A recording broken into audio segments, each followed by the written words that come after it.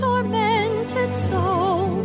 Don't you know I would have loved you the way you were?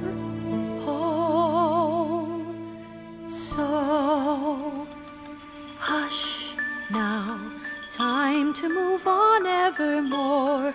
To open your very last door, I'll be here to help turn the key.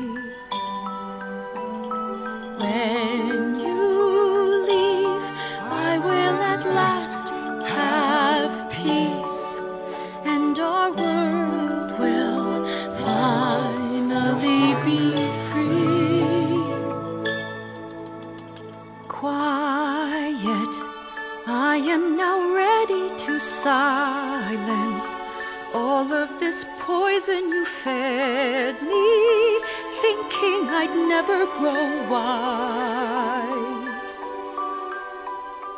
You will die, and so will all your lies when I see the